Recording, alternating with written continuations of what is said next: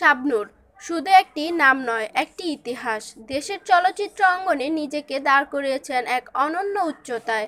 দীর্ঘ ক্যারিয়ারের উপহার দিয়েছেন জনপ্রিয় ছবি। বর্তমানে দেখা নেই শক্তিমান এই পর্দা কর্নার।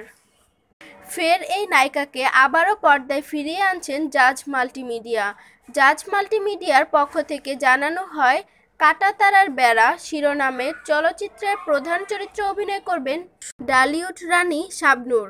আর চলচ্চিত্রের গল্পটাও নায়িকার অভিনয়ের উপযোগী বলে জানানো হয়। শুধু তাই নয় এই চলচ্চিত্রের জন্য নিজেকে প্রস্তুত করছেন নায়িকা, যেখানে গ্ল্যামার্স লুকে ধরা দিবেন শাবনূর।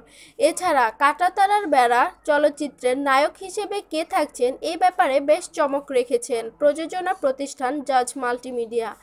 কাঁটাতারার বেড়ার শুটিং কবে শুরু হবে এ ব্যাপারে নিশ্চিত করে বলেননি জাজ মাল্টিমিডিয়া।